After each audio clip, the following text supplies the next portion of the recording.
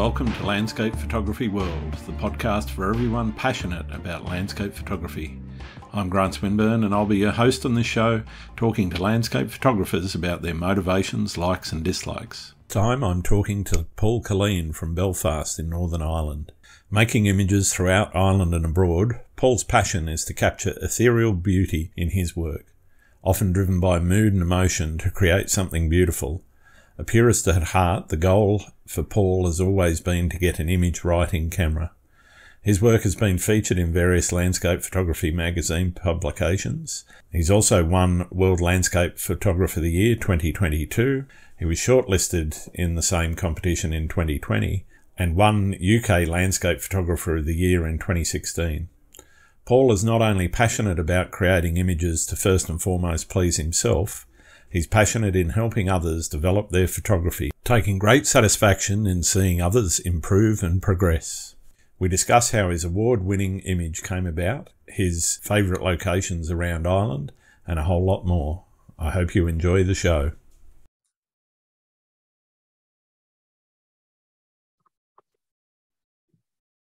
Hi, Paul. Welcome to the show. How are you going? Yeah, I'm good. I'm not too bad. I've had a busy day, busy family day after work. So um, it's good. It's good to get a break and come on on the show and, and have a chat about photography. Oh, thanks very much for taking the time to to do so. How about you start with um, who you are and what got you started in landscape photography? Um, my name is Paul Killeen. I'm a landscape photographer from Belfast in Northern Ireland. Um, all of my education that I excelled in, which was just art. Um, it's always been sort of geared towards photography and, and being creative and stuff. So um, after uh, secondary school, I went to college and then I went to art college and I always had a keen interest in photography and that developed on from there. I think I graduated from art college in 2003 and I fell into an office job and didn't do anything creative. And then about seven years later in 2010, I was going on city breaks with my then girlfriend, which is now wife, and I was borrowing my dad's digital SLR and taking images which I thought were good at the time, which were not so good looking back, but just on auto, but using a, a tripod and stuff. And coming home, and I entered a couple of competitions in the local camera club when I joined in 2010, and didn't do too well. So I thought, right, okay, um, let let's get back into this sort of thing and and see where we can go. Okay, fair enough. So, is, do you find that's uh, one of your biggest motivations, or you know, what, what's I guess behind the motivation and the desire to create, um, you know, artistic photography?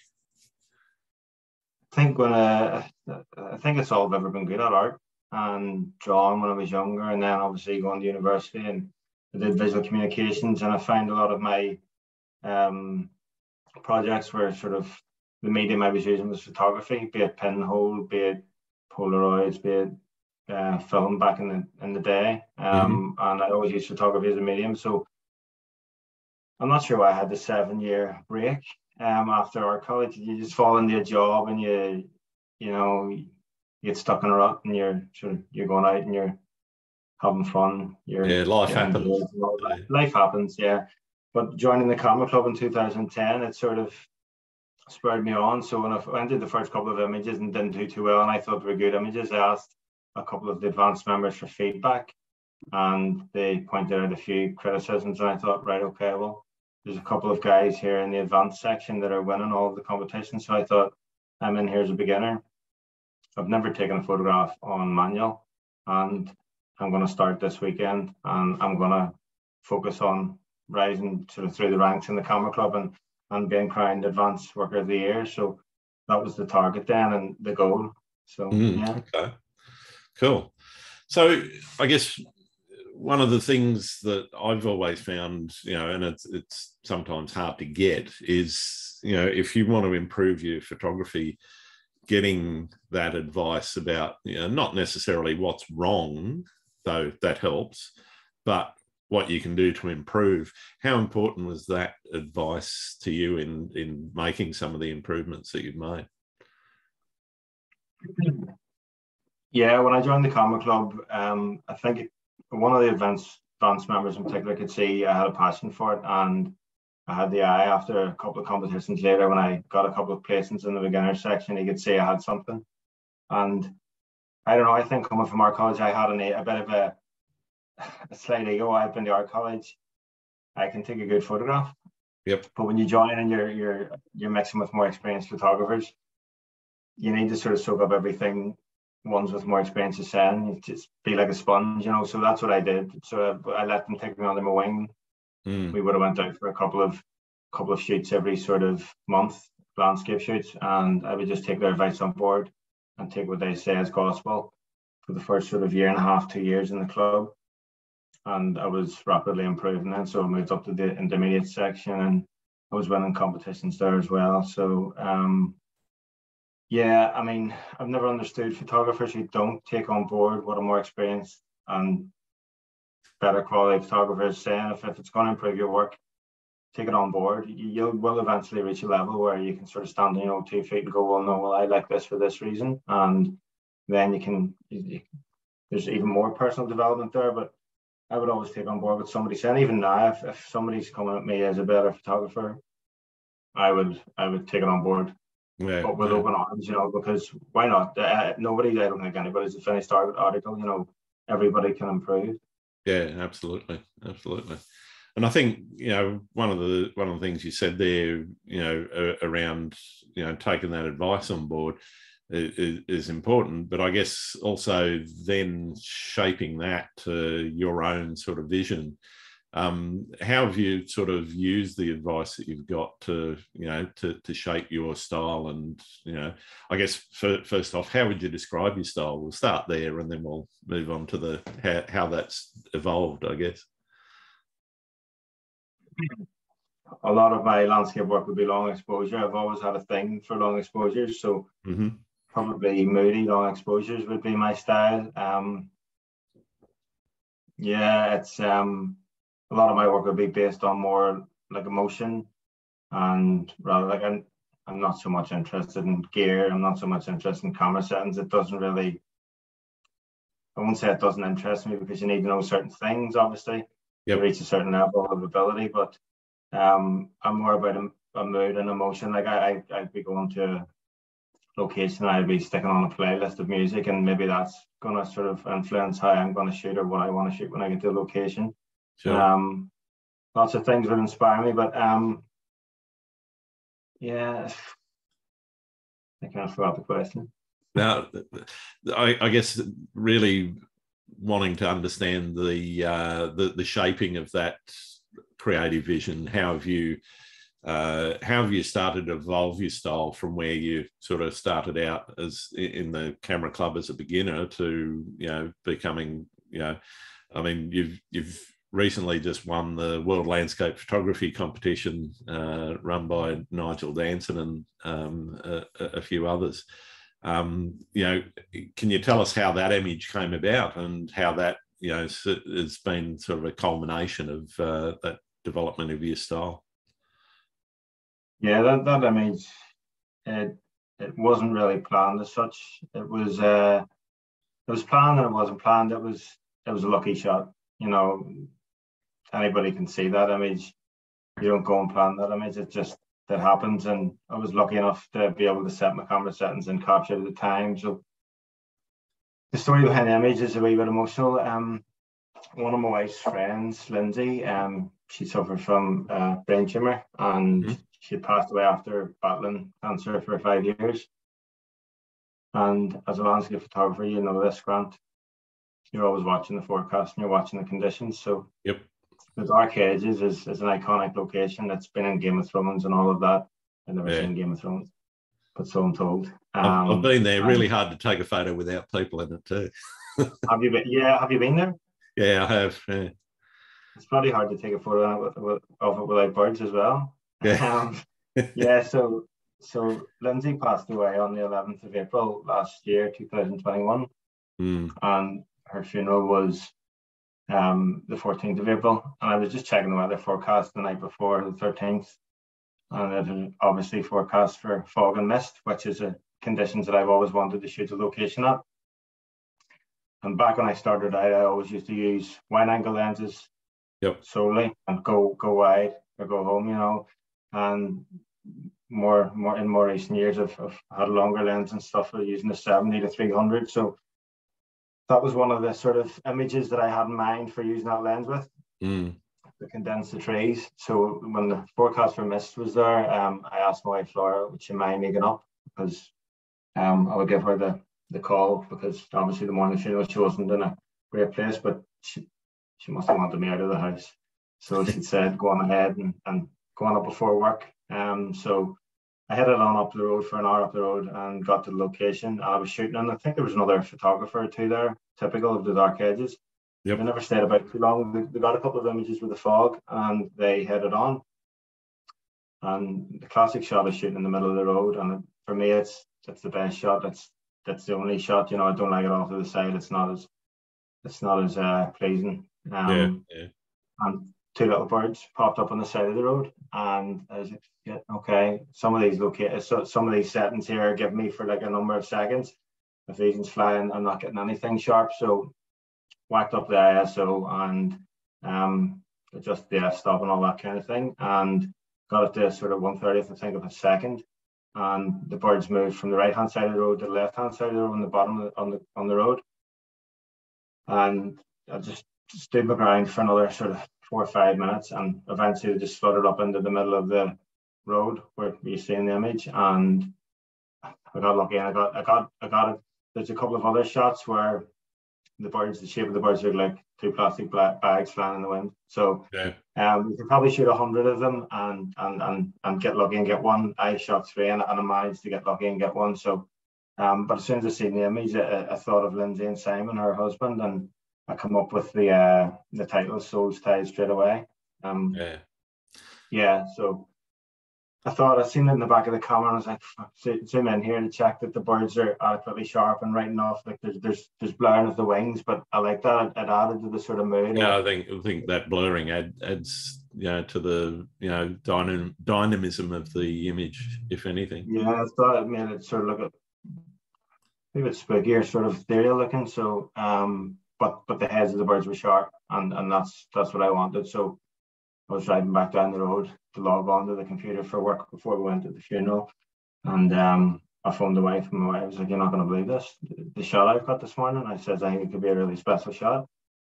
And I explained to her what had happened. And she said, Geez, that's like Lindsay and Simon. So she was thinking along the same lines as me. So I think I was probably meant to go there that morning. And I think the, the shot was meant for me. You know, it's just a lucky shot. So yeah, no, it's uh, got to say it's a it's a brilliant shot.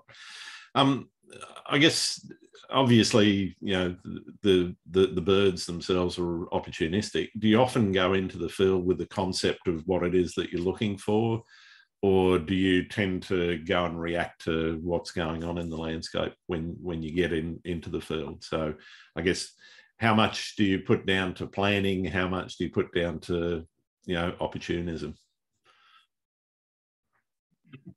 Not just for that show, but in general. Yeah, yeah. Um, no, I would I would plan quite a lot. I would use apps for weather and tide. I like I like seascape photography with long exposure. Mm-hmm. It's nice to have a bit of movement in the water, or or at times make it go like glass. So I would plan tide times, weather apps, and all sorts. Of, for instance, I'm going to a location in Donegal tomorrow evening after work, which mm-hmm. is three hour drive away with two photography friends. And um, I'm planning for that there. So it's this time of year where the nights are slightly longer, um, that you're getting the, the sunset at the right time.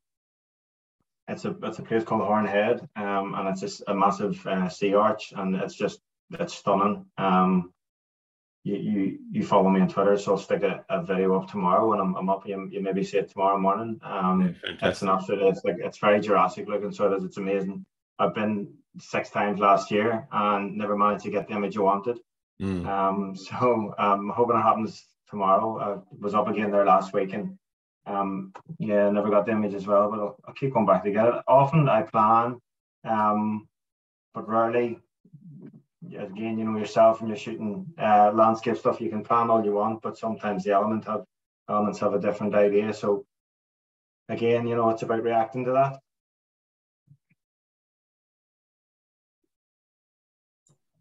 Yeah, I think uh, you know sometimes that, as you said, you know, with your um, your award-winning shot, uh, you know, it's you, you've got to react to what's going on. But um, you know, sometimes I think the planning that you put in, being there at the right time with the right conditions, is uh, one of the one of the key things. Is that something that uh, I guess you've you know taken on board as advice from from others, or is that something that you've just sort of stumbled into? Yeah, well, I think when you're doing I sort of started properly taking photographs in 2010. So it doesn't. It seems like yesterday, but it seems like years ago, and so it's 12 years. After a while, you sort of you sort of develop that skill a wee bit, you know. But I mean, all of you know, all of the planning in the world and the reacting. Sometimes the conditions don't just give you what you want, and you're having to go locations a number of times, like Hornhead tomorrow night. Yeah, fingers crossed it works. But um, yeah, sometimes all the react in the, in the world, I, I would be very, very hard to please. Um, and I would be on my own harshest critic. You know, I would always sort of be super critical of my own work. There's there's not a lot of my work that I genuinely love. Like I hear people coming on podcasts all the time, and yeah, the the love of uh, quite a lot of what they shoot. Um, I don't know. It's I don't know what it is with me. I'd be very self critical and um never really satisfied. There's probably only a few images in my portfolio that I sit back and go, yeah, that's that's good. Yeah. You know, but there's yeah, it's one of those ones, you know. That's maybe a personality thing. Yeah, no, that's that, that's that's great. What a, what about um, your your favourite spots? I mean, obviously Hornhead, as you said, is uh, you know a, a, biggie for you that you you're still chasing. Are there any others that you sort of find yourself drawn back to just because they're, you know, I mean, they might be iconic or not, um, but there are there any favourite spots that you've got that uh, you know you you just have to go to? You keep getting called back to. Um, in Ireland, yeah, there's there's loads like there's Donegal's full of um, mm-hmm. places. Um, there's Malin Head and, and Donegal. It's Ireland's most northerly point. It's uh, there's a classic shot there of an image there from a few years ago that um, I have in my portfolio, and I was there again another the other week as well, um, trying to better that. But again, it's it's the right time of the year when the, when the, the evenings are long and the sun's setting in the right spot to get the side light and stuff. Um, and you've maybe a, a, a number of weeks to get it. But having a newborn child, you know, you can't just get up and go three hours away as, as, as often as I would, have done maybe two months ago before he was born. But um, Connemara and Donegal, or Connemara and, and uh, County Galway, stunning as well. If you've seen images of there, a few of there as well. Mm-hmm. Um, the north coast of Ireland, um, stunning as well. Um, there's like Dunluce Castle, there's Giant's Causeway, Ballycastle, um, Mussenden Temple, Downhill Beach.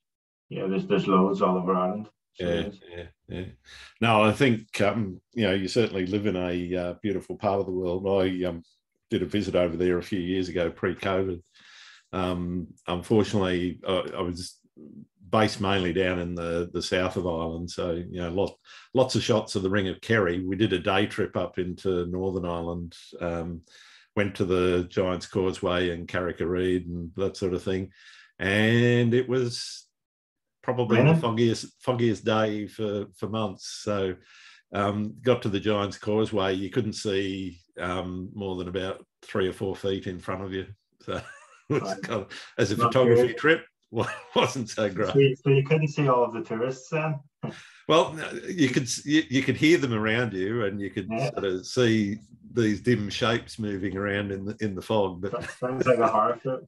You, could, not see um, the sea. You couldn't see the, the, Jam, the Causeway. The Giant's Causeway is a funny one because it's a sunset shot. You know, it, there's no doubt about it. But um, the amount of tourists there all over the stones and stuff, whenever you're, you're taking an image, is it's off-putting. So I think on the winter months, I will go back up this month to maybe try and get a moody image um, at sunrise whenever there's nobody about. You know, just something a little bit different. It's quite hard to compose an image in the in the Giant's Causeway. It's it's almost like when you're in the forest and you can't see the way through the trees. It's just very very hard to find a decent composition. You you find a lot of landscape photographers use three or four set compositions at the Giants Causeway and, and yeah. you don't see too much else, you know. Yeah. Um, you were you were saying you were in Kerry. I don't know how I forgot about Kerry. Kerry's absolutely stunning and Dingle and down that way. You know, it's, it's beautiful. Yeah, absolutely. But had had some really nice conditions down there. Um, you know, uh, there, there was a little bit of fog, but it was mostly down in some of the valleys, uh, as opposed to being everywhere and all over my shot, which was you know uh, a little little annoying for uh, you know that. Unfortunately, as I said, it was just a one day deal, so I couldn't uh, couldn't sort of get back up there. Uh, unfortunately, but uh, yeah, if, if you're ever back in Ireland, if you're ever back in Ireland, give me a shout and we'll meet up for a shoot, definitely. Absolutely, that that sounds great. Thank you. Um, I guess obviously that influences uh, what you shoot does it do you find that you know living where you do does that influence how you shoot as well? So is it mostly seascapes and the the coastline or mountains or you know i guess what you know what is it that i guess uh, you find that where you live influences how you shoot? Uh, that's a good one. Um, that's a hard one to answer. Um, when I when I first took up the backup photography in 2010, I joined the camera club. The consensus of the camera club is like, well, you got to shoot everything because we want to compete against other camera clubs. But when I joined the camera club, I really just wanted to shoot landscape. I was I was kind of uh, intrigued by long exposure. It's it was brand photography magazines and soaking up everything that was in the articles there and the tips there as well as it was in the camera club. And at the time, I was seeing a lot of long exposure. I was like, oh, I want to try that. I want to get filters. I'll get Lee filters and I'll I'll create my own ones, kind of thing, of locations close to me, you know, that are mm-hmm. I suppose iconic for somebody over here, or, you know. But um, yeah. That's okay. How much of how much of your success would you attribute to your ability to communicate well?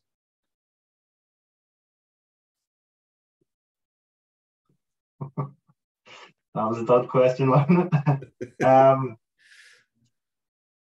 I don't know. I, I don't know honestly. Um, I don't know if I really had much success either. Um, I just like making images. Um, I just like I don't like the standard landscape image. I like to put mood and feeling into an image. So I suppose in terms of my my work and stuff and communicating, I don't like bright and breezy and you know those sort of Simpsons blue sky white clouds kind of thing. I would much rather have changeable mood conditions. So um, I suppose if you want to sort of link that to my work and mm-hmm. I don't know if it's my personality or either, um, because I'm pretty happy family life and stuff. So, um, yeah, it's I, I don't know. I, I can't answer that. No, that's fine. That's fine. I'm um, nah, it's, it's all good, mate. Um, I guess how are you finding now with uh, your, your, your new baby uh, balancing you know lifestyle with your photography you know. Are you a full-time photographer or are you doing it on the side? No i have a full-time job still working an office job nine to five monday to friday kind of thing. Um two days in the office three in the house because of covid still but um i also have a weekend job as well. Oh, wow. um so yeah which is 12 hour shifts so there's not a lot of free time um, that was all before the baby, and now, of course, our baby Levi is born as well. So there's even less time, um, and you've that constant. You have children, can't you? Yeah, oh, well, they're, yeah. they're all adults now. Three, th- three girls. They're, uh, I think, the oldest. Lucky you, lucky you. You can get out and photograph them. Yeah, well, I can so now. You know, yeah. you know, you've got that. You know, you've got that constant state of just I've, like. I've also packed in full time work, so uh, I can. Uh, I, I, got plenty of time to go out and shoot whenever I want. Keep rubbing it in, sure. Yeah, keep rubbing it in. Um, yeah, so you, you know that sort of constant like six out of ten tiredness kind of thing where you're. But Levi's eight weeks old and on Saturday coming, and I think I've been out once, twice three times. Three tomorrow will be my fourth time um, yeah. night shooting, but only this will be my third. With three of the four times I've been out at sort of proper locations. You know, one was just a local location, so um, I'm finding it's it's severely limited. But we've a week, we've a week booked in Connemara for the end of September. So I'll, I'll we have the the in-laws coming down. It was a mm-hmm. tactical invite so that they could do a bit of babysitting and we could, me and my wife could maybe go to the pub some night and I'll be up for sunrise and be down sunset every day we're away, you know. So with an extra two pair of hands to sort of look after Levi while I can indulge in a bit of photography to keep me. Uh, t- keep take me. advantage of it, mate. It makes all the difference having that extra set of hands around. Yeah, big time. Yeah. So yeah, I'm looking forward to Connemara and I would hope to sort of try and nail a few shots, you know, in the bag that that I'm personally sort of pleased with before then. So right. yeah, it's tough. It's tough not getting out as much. I won't lie. You know, it's especially if it's your passion. Like it's not my it's not my job. It's it's not. I don't call it a hobby. I call it a passion because if I'm not making new images, I'm kind of bored of sharing old images repeatedly on Facebook yep. and Instagram and Twitter and all that. You know, just I'd rather be out making images and um, it's the same as making images. Like I'd rather be out in field on location, traveling to location, that sort of buzz, that excitement, the thrill of the chase, than I would be sitting at a computer uh, processing an image as well. Yeah, yeah. So talk, talk to me a little, little bit about that. I guess you know, um, we'll start off with how you how you work in the field. What are you what are you looking for when you get into the field? I mean, you know, assuming it's you know somewhere that you've not been before and you, you're trying to scout an image what what sort of things are you you know driving for and, and, and looking for to to incorporate into uh, into a shot? Um i'll be honest i don't mind if it's like a, a classic um they call them honeypot. I, I, it doesn't bother me to have a honeypot sort of location and a honeypot shot like Malin Head yep. um because I know if it's an image that pleases me at the end of the day, it's it's quality. Um, because again, I'll come back to being so hard to please. Um, I've location, look on social media, um, not just other photographers stuff, but you know, standard sort of iPhone snaps from random people because sometimes you'll see an iPhone snap from a random person of a random location. Think I, I could, there's there's a shot there somewhere, so you can go and you can sort of scope it out and might take a few visits, but you know, you could get an image out of it, you know.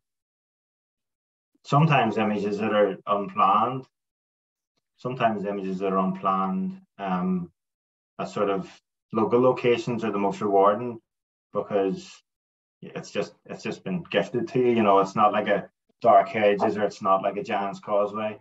Yeah, yeah. nothing big. It's just nice little shot of a, a woodland scene or something, or something like a, a minimalist seascape, and sometimes that can turn you on as much as a honeypot, you know. Yeah, absolutely. Yeah. So what what about uh, when you you know you you get into the field itself? Are you you know dropping the tripod where you think you should and getting snapping, or are you hunting around a little bit longer before you uh, get into into shooting and taking your time about it? Sometimes you get to a location and there's like quite limited sort of images of what you can take, and sometimes there's a there's a good handful. So yeah. I'll stick the tripod down on the floor and the camera bag down, and I'll just I'll have a wander about and stuff, and then I'll do a second sort of wander about with the camera in my hand, sort of checking out different focal lengths and stuff, and, and trying to work the, the foreground and stuff, and, and obviously mm-hmm. the, the background to complete the image. But um, I'll do that there, and then I'll sort of probably settle on a shot and you'll be taking a few images, and then you think, oh. and then you look in the back of the camera and you're zooming in, it's like, no, there's something here that I'm not quite happy with. So yeah, might be slightly out of balance or whatever. Yep. Yeah, or just sometimes it's just like one little rock or something that annoys me, and now that's it. Like you know, it's like it's like if you're shooting a long exposure and the, the clouds are streaking, but I like I like the clouds, and I don't like any light parts of any of the corners of the image. I like the if it's a heavy sort of moody sky, it has to be yeah, sort yeah. of down over the holes. It has to be sort of bringing it down in, you know. So we tiny things will annoy me and stuff. Um, and I'll not I'll not sort of clone sort of things out or anything or add things in and okay. production. It's sort of as in camera, so that's the, the way it would work. Cool. So I'll, I'll ask you a little bit about the processing. Do you, you know, you're straight in, pardon me, I'll ask you a bit about the processing. You're straight into it and uh, you know, editing as soon as you, you, you get them home, or are you taking your time about it and you know leaving it? I mean, some photographers I've spoken to won't look at an image for months before they uh, they start editing, and even then it might you know be several edits over a period. Are you one of those sorts of photographers, or are you one that gets into it, gets it done, and you know leaves it? Yeah. So the, the end thing to say on Instagram is stick it up in your story and say let it marinate and yeah. then people will it marinate for all of two days and then uh, post it on Instagram. Um, it depends on the very very rarely would I edit straight away. Um, going back to what I said earlier on, I much prefer to be out in field shooting. Um, that's where I get real enjoyment. You know, post processing. I'm working. I put post process on a, a, MacBook Pro, which is I think nine years old. So it sounds like a, an airplane at the moment, and I'm on my wife's uh, work computer than the Zoom because there's something wrong with the sound in mine. It, it, runs really slow. I think to do a 20 minute edit on my MacBook Pro at the moment, you're talking it could take two to three hours. So wow. straight into processing, but I never, I never really have. Not I did sort of in the earlier days, you know, when I was sort of first starting out the first couple of years, but in re, in the last sort of five, sort of six, seven years, I've, I've sort of let them sit any time between sort of a couple of weeks and a couple of months. I was out. I was out in February with a good friend Michael shooting the snow up in the Belfast hills, um, and I think I got a, a, decent little shot there. But they're loaded onto the computer and then they're moved off the computer to create space on the external hard drive. But I haven't even looked at them yet. You know. Wow. Okay. I'll maybe I'll maybe leave it to November or something when people are sick of snowy shots. I'll edit it down. yeah. No, stick up the autumn shots in spring. Yeah, yeah, yeah oh, my stuff's all over the place. So I'm a bit like that. I mean, I, I don't think there's anything better than running through your, your old shots, particularly some of the ones that when you initially looked at them, you thought, oh yeah, well, it's a secondary shot. I'll get I'll get back to that maybe, you know.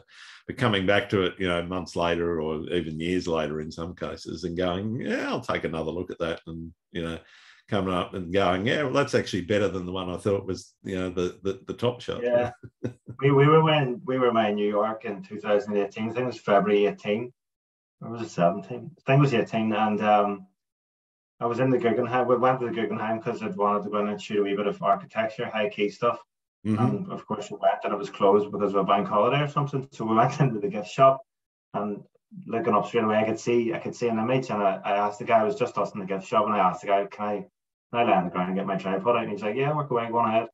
So I shot that image, and I never did anything with it. And I was sitting bored one night, a couple of years later during lockdown. I think it was mid 2020, and I was like, "Let's through let's through old shots if there's anything I can yep. polish up, you know, edit." And got a good image out of it. Like it's a nice high key sort of architecture thing. So sometimes a bit of a pair of fresh eyes is good.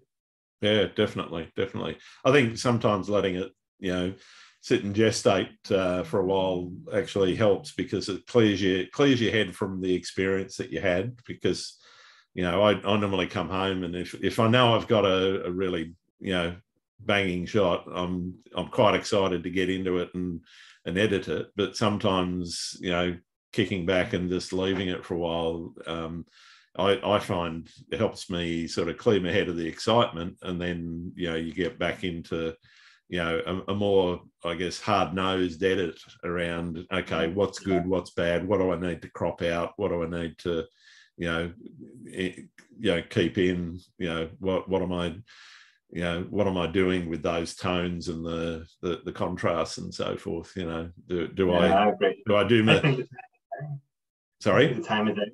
I think the time of day when you're editing as well, I like to sort of edit sort of not on bright sunny days. Obviously, you have the blinds closed and stuff, but um, when you're processing, but um, I think it's sort of again like sort of maybe in an evening sort of. Well, I was going to say that's kind of like, but it's sort of getting dark now. You know, sort of that would be the kind of time you know you can just sit and sort of and, and relax and do it. Sort of I think when things are too bright, it sort of affects. I've, I've done that before and I've edited, that means when it's been too bright, and then all of a sudden I've looked at it sort of in an evening, sort of in a, in a duller room. Like, yeah. No, that it's all off. Yeah, no, I know, I know exactly what you mean. It's, uh, it, it's amazing how much difference, you know, as you say, just the lighting in the room can can make to, you know, not just your mood, but also how you, you know, how, how you sort of bring the edit around, you know. And for me, it, it, it's really that you know take your time look at it a few times. I mean there's i mean there's plenty of stuff that i put on the instagram which are just you know quick edits. There you know, i shot this yesterday or today or whatever and you know i want i'm i'm excited to share it but you know i know it's not my best work but that's yeah. not necessary uh, i'm not i'm not one of those sort of portfolio um uh what do you call it curated uh you know photographers where you know they're only putting their portfolio shots up. I I will put up pretty much anything that I think is worth a look, whether it gets lots of likes or not. I don't really care. It's more, you know, here's here's my stuff. Here's what I'm working on. You know, sometimes it'll just be a work in progress, and I'll go, you know, this this is, you know, what what I want to show you today. You know. I think with the likes on social media, it's like it's it's all sort of who cares because it's throwaway. You know, you'd be scrolling through Instagram. You know yourself. You, yep. You could if somebody. It means more to me if somebody stops and actually makes a see all sort of like awesome or stunning that you know, or uh, just a comment that's an emoji. Like it doesn't really mean anything. You know, um, I think if somebody's putting on a thoughtful comment mm. or something, they've actually shown, shown that they've actually looked at the image means an awful lot more than say 500 or a thousand likes or whatever, you know, because it's, it's all it's all so fast tracked to social media, you know. Will anybody really remember my shot that they've seen two minutes earlier? Probably not. You know, yeah. uh, for the most for the most part, like you know, I'm I'm sort of honest about it because that's, that's not just me. Like most photographers, you know, as well. I, I think yeah, it's just the way it is. It moves so fast, especially on Twitter. Like you blink and you would miss loads oh, on Twitter. You know, absolutely. Yeah. and the algorithms aren't helping uh, helping anyone either because you know you I mean particularly on Instagram I don't know what your standard feeds like. I've I've started using the following feed um, almost exclusively on Instagram simply because that gives, uh, I, I didn't even know about that. I sort of yeah so you, you you tap on the Instagram logo at the top and then it says following underneath and tap that. And that actually gives you a more chronological feed um, All right. Okay. Whereas like kind of like it used to be. Yeah, it's more like what it used to be. It's, it's not hundred percent, but it's it's better than better than the standard feed because the standard feed I find is full of reels and ads, and I rarely see photographers that I follow. So if you if you do what you've said there, do you get less sort of adverts? I wouldn't say you get less ads, but. It's, terrible, but I've never like. You, you tend to see more, yeah. You tend to see more of who you follow as opposed to you know all of the reels and whatever, unless you know who you follow is just posting reels, obviously. But you know. I've, I've never understood algorithm in any sort of social media. Um, I kind of that's I had a Facebook page that has sort of I don't know what I know something like seven thousand followers, and you mm. post an image and anything from I think it was in around about 2014 um, anything after 2000, the end of 2014, when you post an image, um, it was maybe getting 16 likes. And I don't know how it's getting 16 likes if you've X amount of followers, yeah. which isn't a grand amount of followers, but like you, you should get. It just means nobody's seeing it. So at, at that point, Facebook were looking you to pay the money to promote your work to people that have actually liked your page. So I, I, I sort of gave up on Facebook totally and yeah. went over to Instagram. I had an Instagram and gave it up like a personal one, just snaps of family stuff, you know. And then I, I went back into it um, 2000, maybe 13, 14. Mm-hmm. And it's sort of, I see a lot of it, Instagram getting a lot of negative press. It's going a bit like TikTok and videos and all that kind of crap. So, yeah, yeah. Um, I've had a Twitter for years and years, and I've only started using it sort of daily since January. So, yeah. No, I, I started, uh, would have been about 2010, I think, on Twitter. And um, uh, photography wasn't a thing on Twitter back then. So uh, did, didn't see a lot, you know, follow, followed comedians and news and that sort of thing. And very rarely posted. It was mostly just me, you know, consuming stuff. Uh, yeah. Very rare. Like stuff. Yeah, I, I might make a comment here and there, but very, very rarely. But um, you know, when photography Twitter sort of blew up uh, a, a, year or so ago, um, you know, obviously started to find and follow a lot more photographers. And um, yeah, yeah, I mean, it's one of the reasons why I found you was because I followed somebody that you know was also in the the the competition that you won, and then saw your okay. name pop up as the winner, and thought, oh, better better have a look at his stuff because because he's winning stuff. So. oh, uh, won something, winning stuff's a bit sort of. I don't count Camera Club as winning stuff. You know, it's yeah, fair enough. Yeah, it's just, I think like I, am very honest. Like you know, the, the shot's a special shot and it's a stunning shot, but when I shot it, I didn't, I didn't phone the wife and say, "I think about an absolute cracker here," yeah. and that was the actual closing date of UK Landscape Photographer of the Year, which I would enter every year, and yep.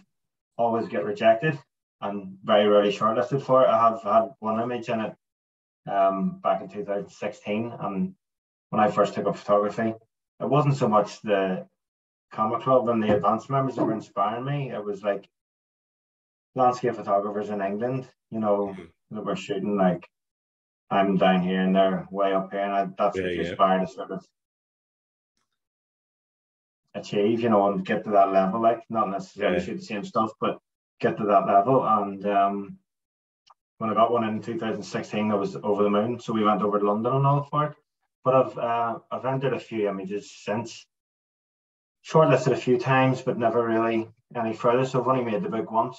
I'm shortlisted again this year with two images. One that's been popular this year, but I can't name what image it is. It mightn't get into the book if it's won something else. So, um, yeah, um, don't know where I was going with that. it's okay, no problem. I was, getting, I was going off in a tangent there. I do that, and then I was like, "What was the question? Why was I even talking? Why did he invite me on?" Rather than this bit out, I take it. No. no. um, what's what's your most memorable experience when uh, out shooting?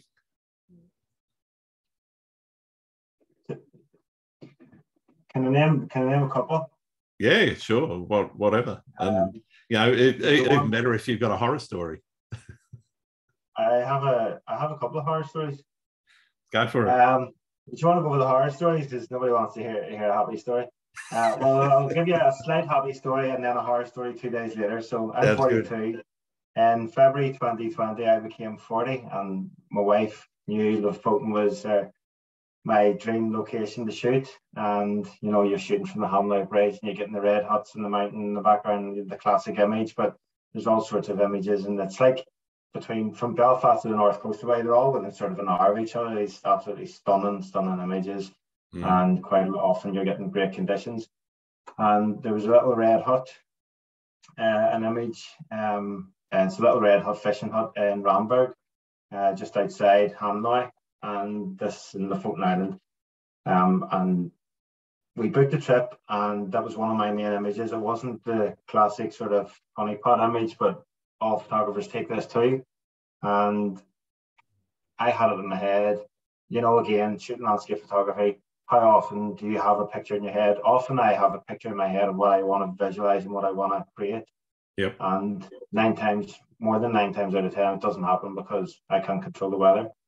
I've had a superpower, that would be what I want to control the weather That's exactly how I want it. and uh, so we, blizzard one day, we are on the second sort of day in the Lofoten uh, of a 10 day trip. It cost about five thousand pounds to get there and stuff. You know, you have two flights and you have a ferry and stuff over to the Lofoten Islands. So we drive from Hamnøy down to Ramberg to shoot this little red hut because I wanted totally isolated. I didn't want to see this the background mountains and stuff. I just wanted the there to be snow on the bottom of the image, the red hut, and then just nothing, just just totally minimalist. And I said my wife, I was like, right, this blizzard here, let's get down to Ramberg. It's only half an hour away. I could get this image if the snow keeps up. So we get down to Hamnøy. And it was the most, uh, just in terms of shooting, I've been shooting for 12 years, but in terms of shooting, it was the happiest it's been. Mm. Um, my wife and I is there with the umbrella over because I've got the filter over the lens and stuff. I'm taking images and I know I've got a great image. By the 30th of a second, you get little wisps of snow and stuff and sort of a grey sky, but it's just minimalist. You know, you're not seeing anything behind the red hot. It's beautiful.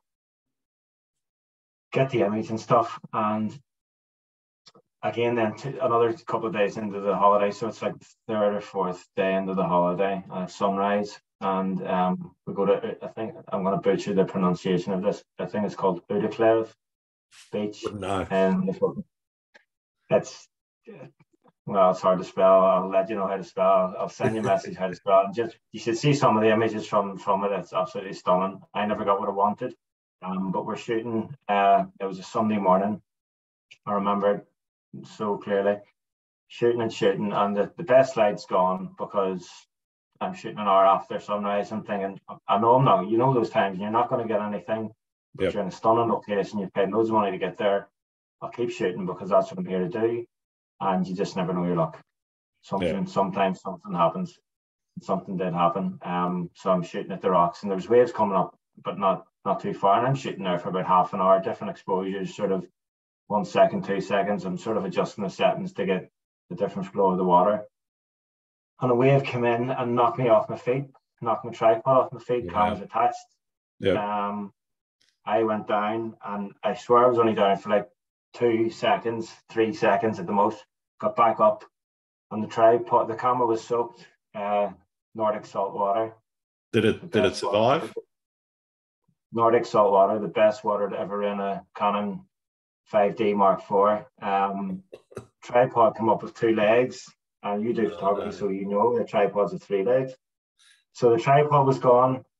The filter holder, I don't know how, I was got attached from the end of the, the lens with two Lee filters attached. So that was about 300 quid's worth gone. Mhm. And you know that attitude, that's fine. That not happened to me. I, I got up to the car. My wife thought something, well, something bad had happened, but my wife thought somebody had died. Like I was, I was wearing a pair of waders as well. So I was, my eyes were, water was coming out of my eyes, and I was in convulsions. As I couldn't move, and and the, the water was that cold. I don't know if it, well, it was a shock or whatnot, but I could physically couldn't move my hands. She took the camera off me and dumped it in the back of the car. I was like, "We need to get back to the hotel. I need to get this new radiator." Uh, Um, did all that, put it in rice, blah blah blah. Camera never worked again, and yeah, so the camera never worked again. Lost the tripod, lost two filters, lost this. I think was using 70, 17 to forty lenses. I, think in all, nothing was insured. Uh, in all, I lost about four thousand five hundred pounds worth of um, uh, camera gear. I'm stuck up on social media again. You know, thinking camera will be grand. You know, I'd never had an experience like this before. The camera will be grand. It will work so well. I was sort of convinced. You know, that attitude will not happen to me. Yeah. Would anybody have any Lee filters, or do you know where I can buy Lee filters in the Lofoten? And there was a, there was a guy running a workshop from I think he was from Derry in Ireland. hmm Um, he was running a workshop and he followed me and he, he said, "Listen, I'm running a workshop here. There's a guy. We're two hours away from where you're staying. He can lend you filters. He can lend you a tripod and the filter holder." I was like, "Happy days." Um, give us your address. We'll come down tonight because he was going the next day. Yeah, amazing. So we drove down, and the, the guy says, I don't think your camera's going to work again. Can you buy another camera? I, I said, No, I can't buy another camera. We'll spend a lot of money to come here. Um, I haven't won the lotto, you know. So Yep. he says, Is there anybody that could lend you a camera? Because another guy coming out in a couple of days' time. So I was like, Well, my dad's got a 5D Mark II. So, long story short, um, another guy coming out on this this fella from Derry's workshop um, brought my dad's camera out, so I was able to use a mixture of my dad's camera and the other some of my gear that survived, and and another guy, Andy Coulter's um, gear that he lent me. So it was, it was a stopgap, but I couldn't relax after. I, I, I couldn't make any images that I wanted to. The only thing that survived was um, uh, the, the, the, the images from the first couple of days. And I was so so glad because if I could pick one thing to survive in hindsight, it would be Yeah, you want the images memory card to survive. Yeah. Yeah, because it, it, I've, I've got, I think I got probably my, my, my, my, my, my personally favorite image that I've ever shot. I call it Surviving the Elements. And it's one of those images where it was a blizzard. So I, I actually titled the image Surviving the Elements when I was shooting, not because of what happened a couple of days later, but then again, it, it, it had a, It fit. it had a deeper meaning, you know? Yeah. So, so from, from hero to zero in like two days, it was, yeah, it was crazy. So I have unfinished business with the Lofoten um, and I want to get out there to shoot again. So, um, Mm, if definitely. anybody's listening to the, if anybody's listening to the podcast and wants to send me some money, um, I'm, I'm willing to take another trip there. Yeah. No, it's, it's on the list. If they're sending money, I'll I'll I'll let it filter through my account first. oh yeah, go go through your insurance. I'll take a small cut. no, but you know that it's uh, Lofoten is just so beautiful. Like it's everywhere you turn, there, there's it's it's there's it's just beauty. Yeah. You know, it's it's, it's, it's one of those one of those iconic places that it doesn't matter yeah. which way you face, you there's a there's a shot. Yeah. I'll, I'll send you that image, surviving the elements. Yeah, for, perfect. You know, yeah. use for this, but um, it's definitely one of my favorites. Um, so pleased that it, it survived, and that was I knew the camera was dead after a couple of days, and I was just waiting on my dad's camera coming to try the memory card. And when I knew that, when I knew that the images were safe, yeah, I was, I was, I was happy. Like, yeah, no, that's incredible. What have you learned about the world through photography? Salt water is bad for cameras. Is the first thing, you know. uh, what have I learned about the world of photography? Um, well, that experience there, like you know, social media can be a positive place because I mean, without social media, I wouldn't have my dad's camera. Yeah, that would have never have happened. I have my stuff, but it can also be a, a, negative place as well. You know, I've had people send me abusive messages on social media. Um, so uh, what have I learned about the world of photography? I don't know. Like so from from from the start taking landscape photographs, I, I, don't know that it answers the question, but I take a lot more in in terms of when I'm out on location.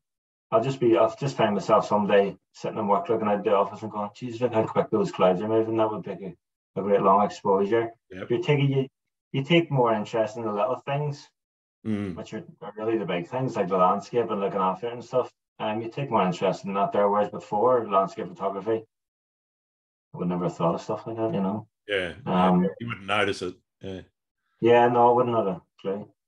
Yeah. If, if you've any way of leading me on to some of the tangent to answer that question better, you know, I can do that and you can edit this out. That's fine. yeah, you're you're gonna have like a 30 minute podcast here of no, no, no. It's, it's all good. It's all good. Most of this will go in. I'm not going to listen to this back. it's all right. I don't never do. Very embarrassed. And then there's I, the accent as well, which is going to be bad. I, once I finished the uh, the overall edit, I, I never listened to them again. that, that's probably a good thing in this case. Yeah, okay. You've had some, you've had some like you've had some great like Rachel Stewart, isn't it? Yeah, Rachel. Rachel was on uh, a, a, few weeks ago. Um, had um, Alister Benn. Um, he, Alister Benn, love his work. Yeah, I've had had quite a few. Uh, you know, I've been fortunate enough to connect with uh, quite a few people, and um, you know, for for me, I mean, this this started as a, a COVID project. Um, I we, we were in lockdown for 165 days. Uh, couldn't go more than five kilometres away, and where I live is suburban Sydney, and I'm not a suburban photographer. I know I know there's people out there that do that sort of urban banal, you know, yeah, shot, shots of telegraph poles or you know, um, uh, you know, a tree. It's a telegraph pole. It's a telegraph pole. It doesn't interest me either. I have to say, I was, I was looking through your work whenever you asked me to do this. Um, and your, I think there's an NFT for sale on Foundation. The one of Sydney Harbour is absolutely stunning. Oh, but, but see the, I like how it looks in Foundation before you click into it. See that square crop? Mm. I think it's much better. I don't like I, you need to see it bigger, but I, if you've looked, uh, you know, you've asked me to do this because of that um, competition win, but I would be I would be partial to a square crop, uh, quite like a square crop. I don't know why, and I think the more I take images in square, the more I start to see in square. Yeah. Um, and so I'm subconsciously looking for square crops, but I think that that is absolutely stunning square crop image. The color is just the color is lovely. Like that's somewhere yeah. I would love to photograph. Well, thank, thanks very much for that. Um, I mean, I I've been. It, it's funny. Some some stuff I'll leave in a you know the standard three by two, but uh, you know quite a lot of stuff recently. I've been sort of looking at different crops, and you know I'm sort of being attracted more to that that square one by one to you know just you know nail into you know that that focus point in the image and yeah. lovely as well when you print an image and you have a nice white border around a natural white border around an image. It's just Absolutely, it's just yeah. so clean looking, so it is. Well, I've got one got one on the wall of uh, Glasshouse Rocks, which is uh, about oh, four or five hours south of where I live, and um, stunning sort of sea stacks. One of them's got this sort of lovely curve. It look it actually looks a bit like a, a, a massive wave breaking on the on the shore. But I've got you know that done in a square crop on on the wall, as you said, with that white border around. And, Yeah. Uh, yeah. How, how far away from you would that be? That, that's about four hours, five hours drive from uh, from So my you place. would be- You would be like me then. You would there's no no bother, just get in the car and go. Oh, absolutely. If uh, if I think I can get there, I've actually just recently um, uh, invested in a uh, motorhome, so um, I'm going to be planning to travel around and uh, live in that rather than uh, uh, in, in a house Are for. you, A, are you allowed, are you allowed to swear in this podcast? No, you're making me yeah, jealous yeah. again. I don't, I don't care. Yeah. Really? But I was Yeah. going to call you a bastard there because you're retired or you're you're not working. Your kids are growing up, and I have a motorhome, so you're. you're I'm rubbing it in. I know. I'm like, uh, maybe get out once this month, uh, the Horn Head, and I'm so excited for tomorrow night to get out and shoot. Like, but if it's anything like last time, I'll be coming back with my tail between my legs because I'm disappointed. But I have a good feeling about tomorrow night.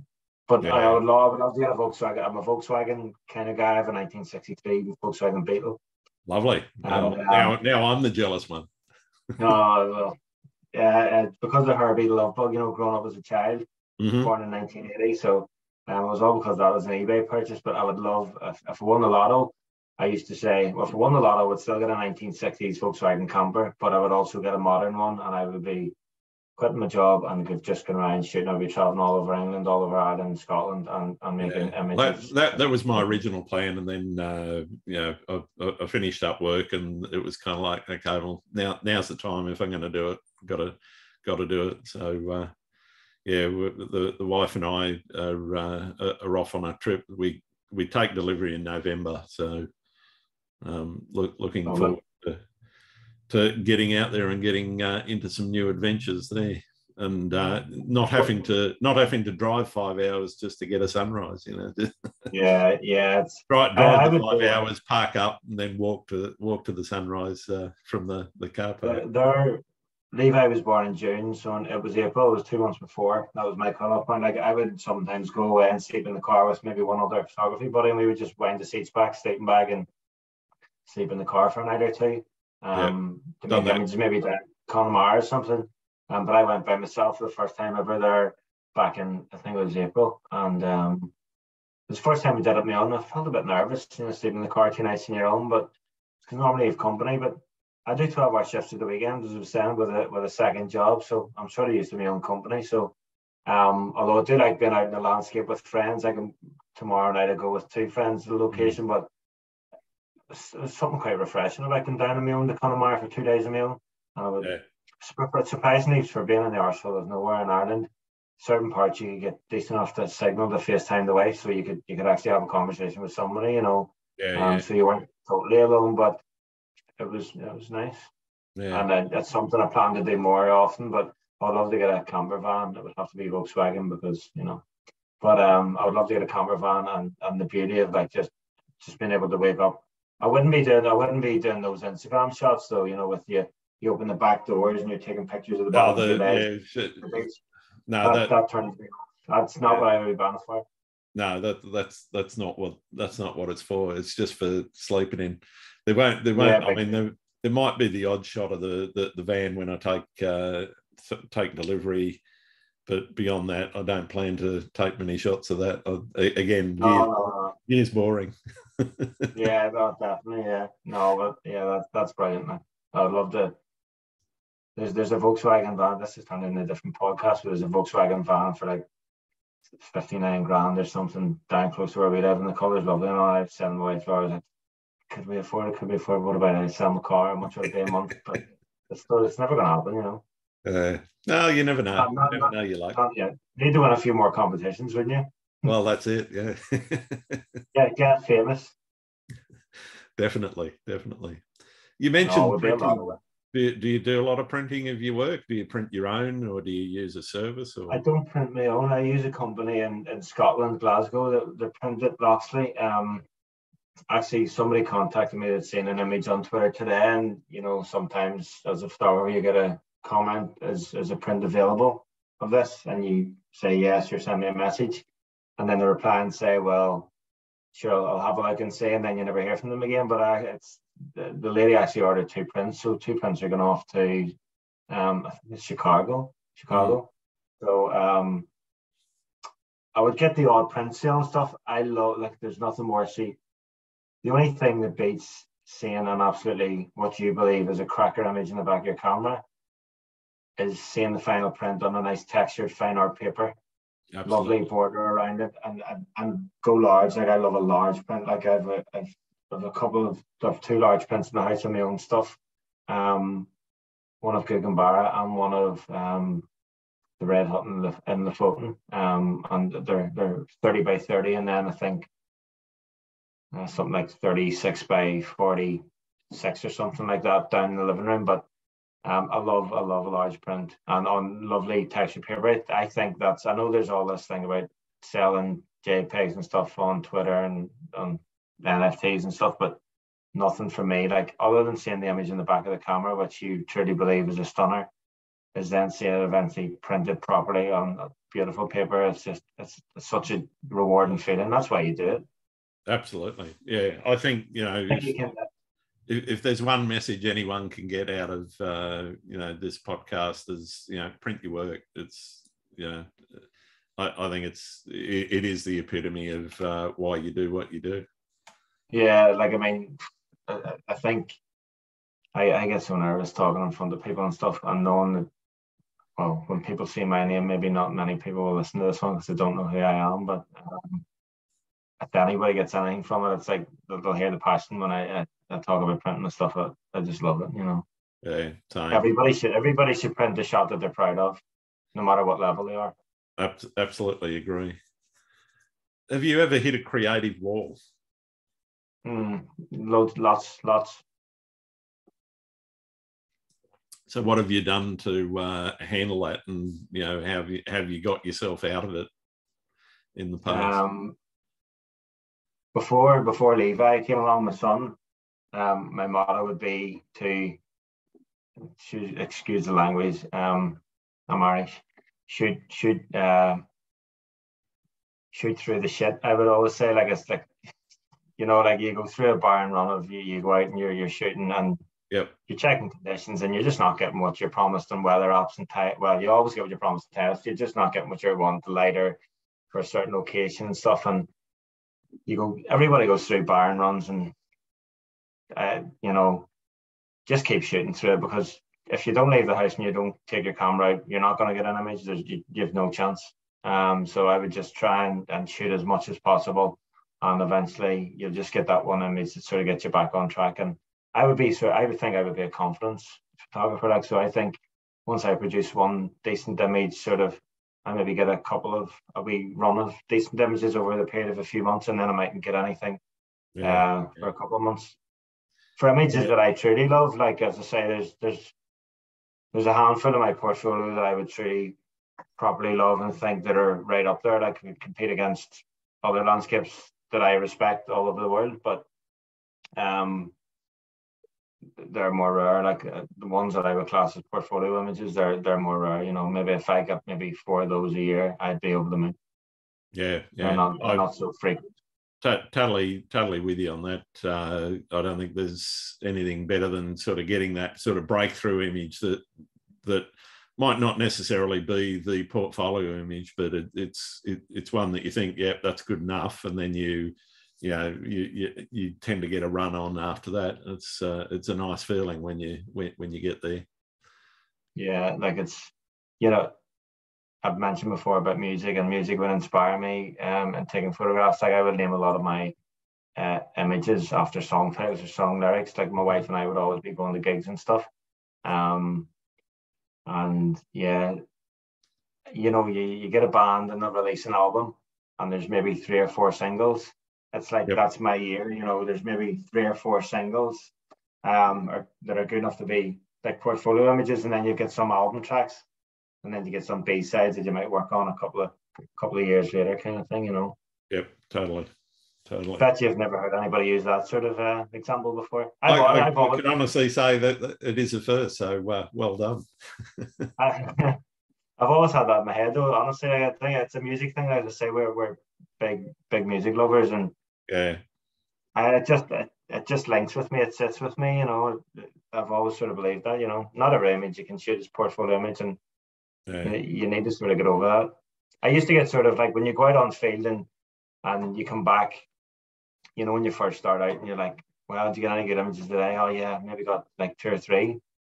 If I got two or three images in the space of six months that I was happy with now, I'd be I'd be over the moon, you know. So it changes, you know. Um, not everything can be personally satisfying, I suppose. No, absolutely, absolutely.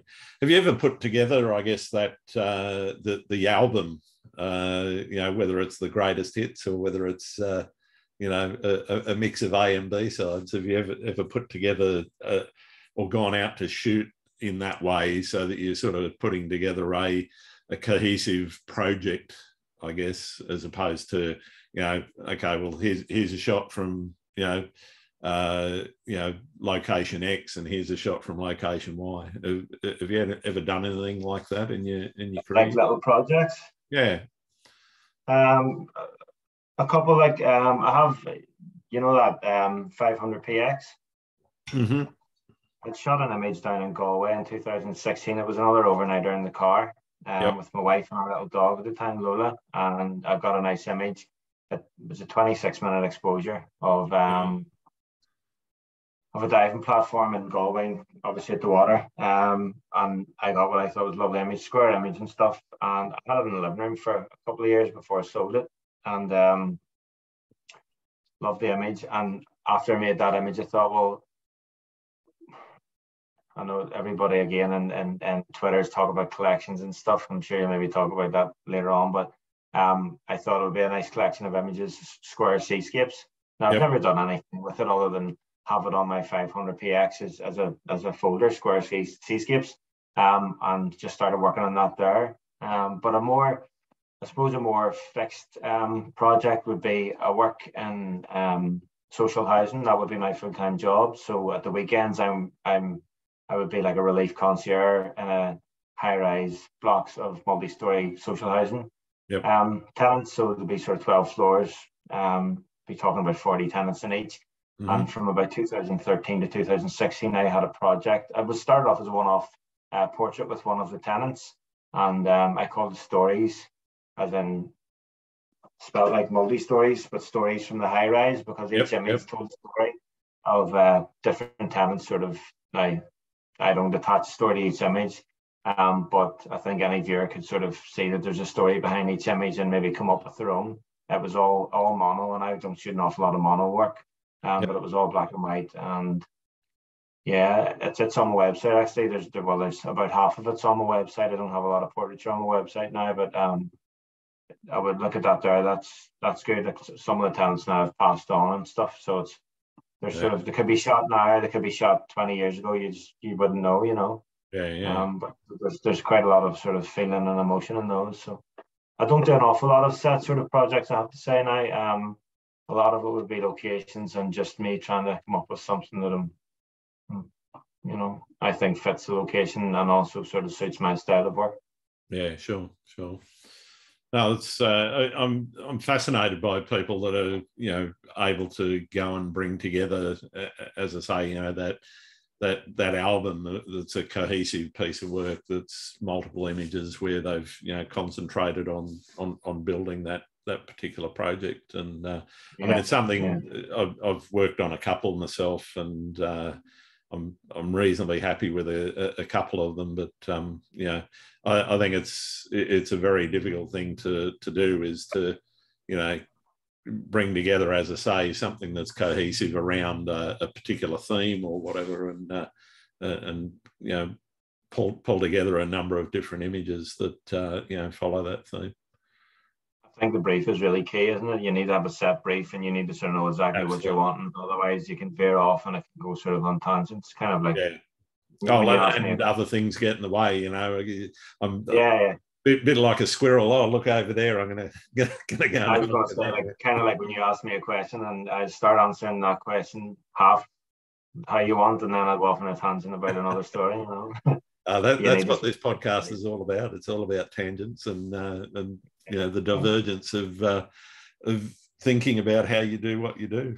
It's um, you know I, I, guess one of the, one of the things that uh, I, I see as important is, is giving people a, a, bit of a platform to you know have their say about um, you know what what they feel about their photography. Uh, or, or other things, yeah. and uh, I'll, I'll ask you a couple of questions about some other things uh, a little bit later. Um, right now, what do you see as the biggest challenge facing photography?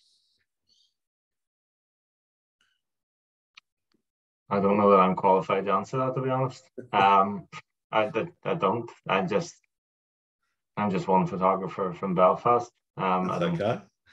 I, I really don't know. Um, what do you, what do you see? Um, I personally think one of the biggest challenges at the moment is is probably climate change for landscape photographers in particular. Um, but I, I, think that's that, that's probably you know too big a problem to delve in too much today. But you know the, for for me, I think one of the important things landscape photographers can do is to bring attention to some of the issues that you know climate change is. Uh, sort of brought up. And you know, for me, that that's probably one of the one of the most important things a landscape photographer, you know, um, should be not necessarily thinking about all the time, but you know, working towards you know bringing attention to to some of those uh, some of those issues. Yeah. I don't, I don't know that I'm achieving that myself, you know. It's, but I, I definitely think it's something that's uh, that, that's worth adding our voice you know, in the uh, in the, the the overall conversation. What's your favourite thing about being a photographer? Um, producing work that you're proud of. You know, um,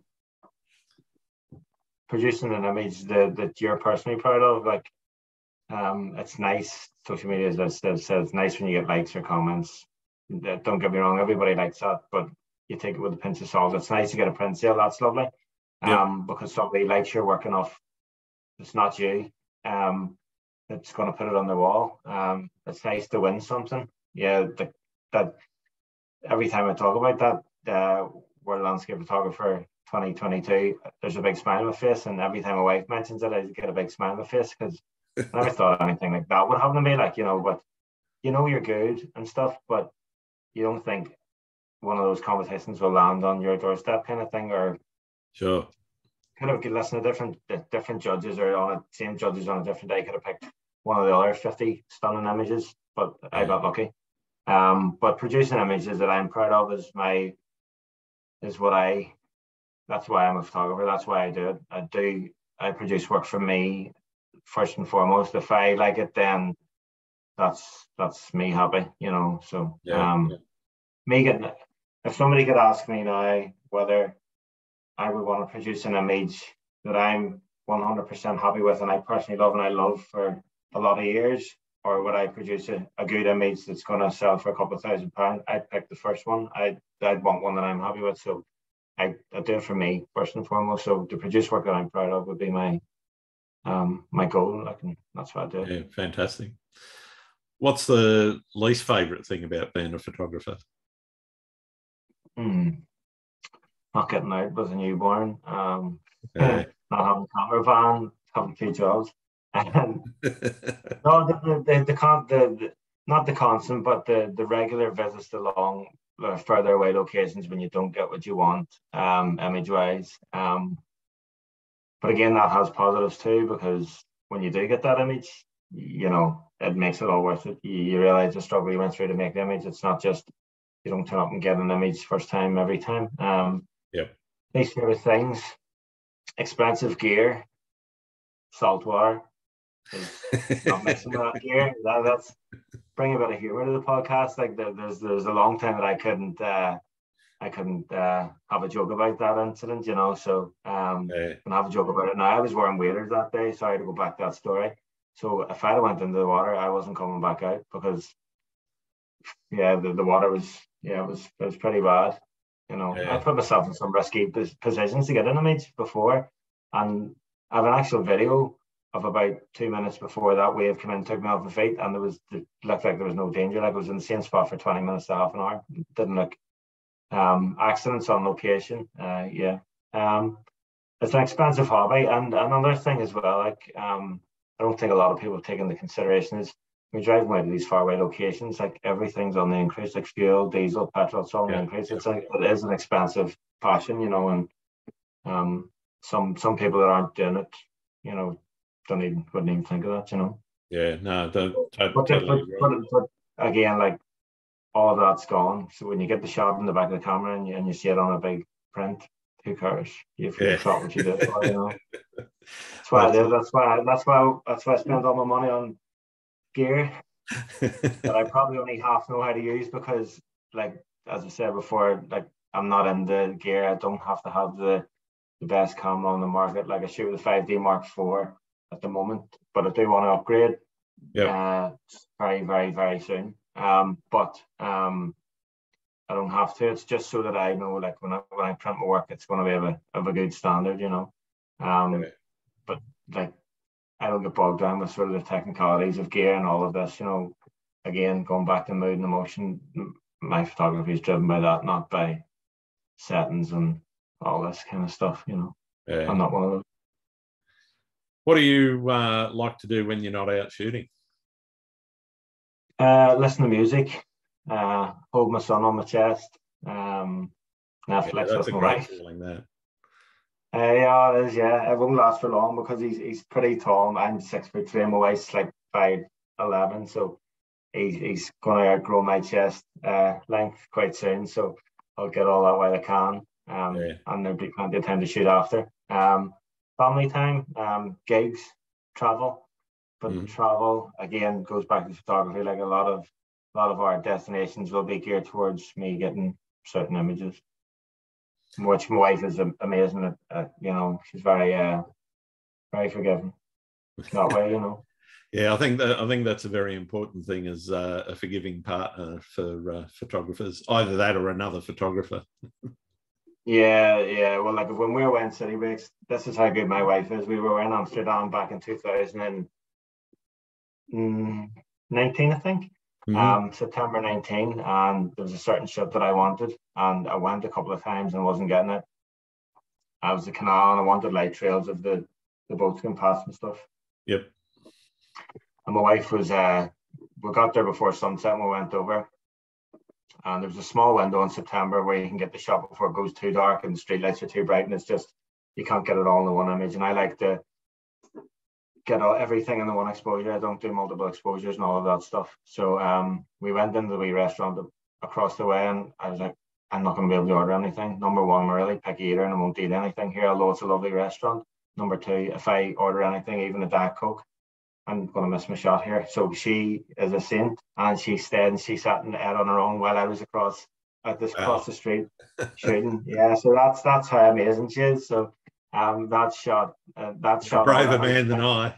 yeah, yeah. Thank God I got a thank God I got a shot that night. And she's brilliant with Google Maps and all. Seeing me with technology, as I said, I'm not in the gear and all that.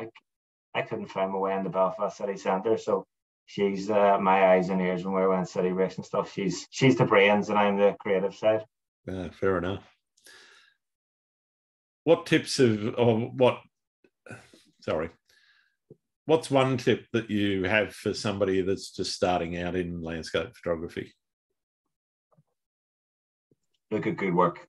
Um, look at work that inspires you, and you might think it's out of reach, but but keep looking at that work and um, keep striving to sort of reach those levels. Uh, you could join a local camera club. I, am pretty sure they have them in all over the world. Um, yeah. But I know it's not for everybody. But it's good. It's great to get that one-on-one stuff. Like when I joined the camera club, I was mentored, and I think two years ago, I, I started mentoring people as well because I get as much enjoyment out of them getting a good image and, and winning a, a competition in the camera club as I would of, of winning something. So, um, soak, soak, soak things up, take on board what people with more experience are saying, and and be like a sponge. I know that sounds like it's a cliche, but honestly, like that's the way you improve. If you think everything think, you do is amazing. Yeah, I, I, you know, I think it's important. Yeah. yeah, I think that's the most important thing. Look, constantly look at good stuff and and um and be inspired. You know, look at the best, and you know, if if you put your mind to it, you can reach a certain level. I don't care what anybody says. Definitely. Um, are there any photographers out there you think I should be talking to? I mentioned uh, that I, was inspired by a lot of UK photographers. Neil Burnell, I'm sure you know Neil Burnell's work.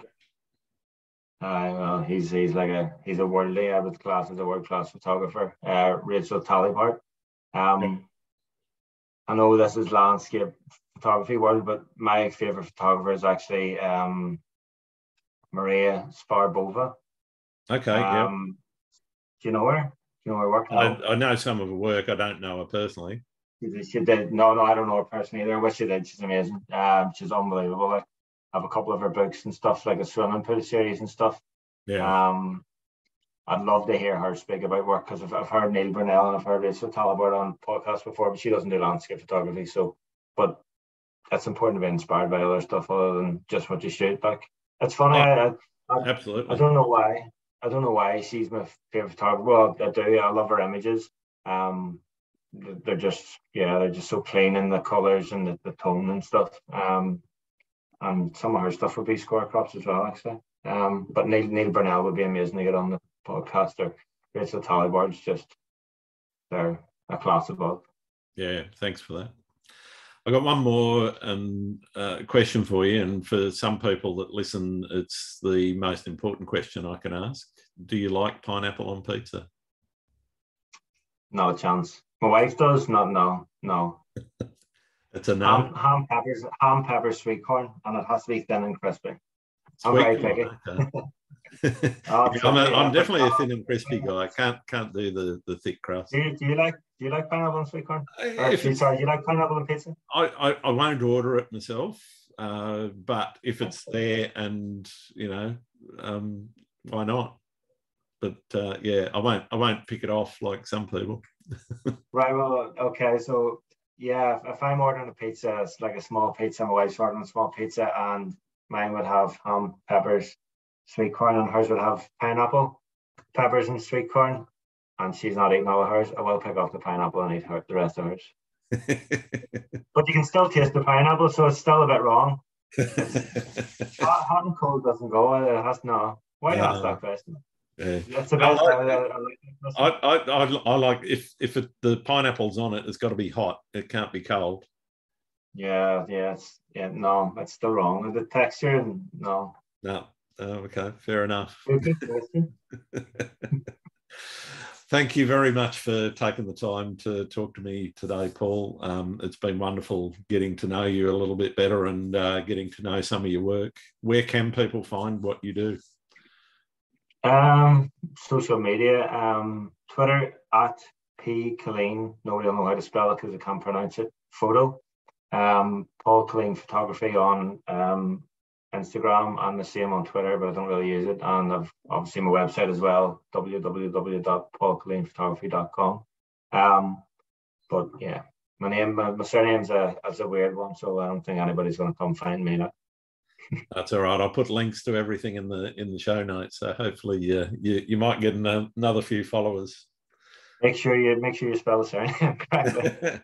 Absolutely. You pronounced it correctly anyway, so fair play. All right. Thanks very much, mate. Thank you, man. Cheers. Thanks again for listening to Landscape Photography World. I hope you enjoyed the show and keep listening because I'll be joined by some great guests in upcoming episodes. You can find my work in this podcast at grantswinbournephotography.com. I'm also on Instagram, Twitter, YouTube, and Facebook. I'm Grant Swinbourne. Hope to see you out shooting soon.